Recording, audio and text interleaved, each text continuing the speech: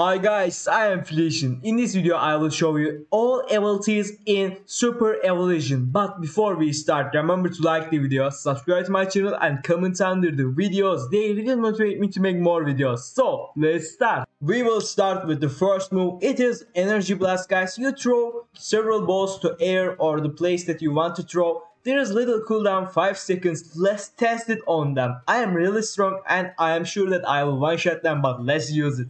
So one shot, another one shot, and another one shot. This is really cool ability. Oh my god, he didn't die. How it didn't hit him? Let's try it again.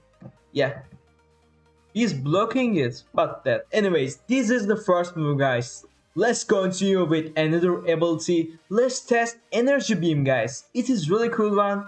Let's use it on them. So you basically throw Little Beam to your opponents. It deals good amount of damage. Let's try it again. I don't know why he didn't get one shotted. Let's try it again. Let's try it on this guy. Okay, we deal good amounts of damage with it.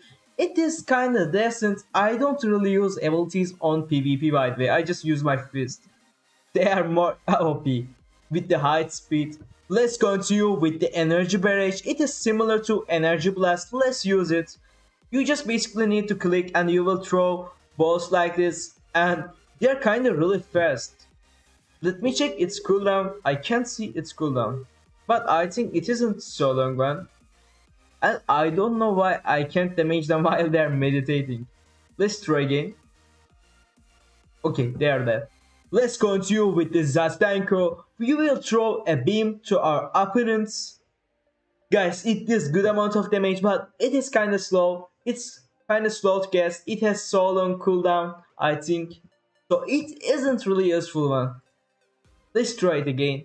10 seconds is long cooldown and I don't really like it like Masenko isn't that useful in PvP.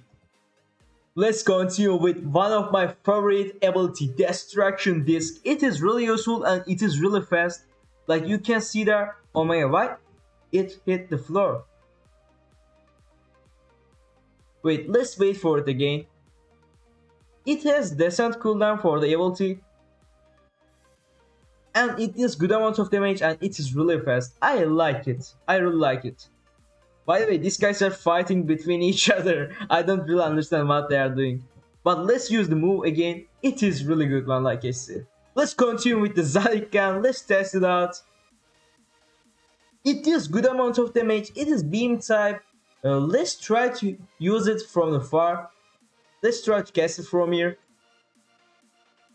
And let's aim little left. Oh, we need to charge. Now let's give it a try. Okay, that's kinda decent move. I don't really like abilities. Now let's continue with the finger lasers. I think it is really good one. Let's use it. You throw little beam and it explodes. It is decent move actually. It has long uh, casting time. And this is the last ability destruction wave guys. It is basically kamehameha. You're just throwing big kamehameha to your opponent. I think it is good damage and it is good actually. You can use this on fights.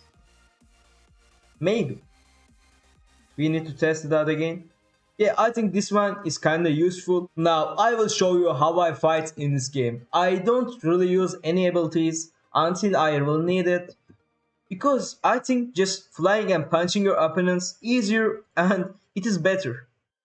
See, we got one of them right here. We are just so fast.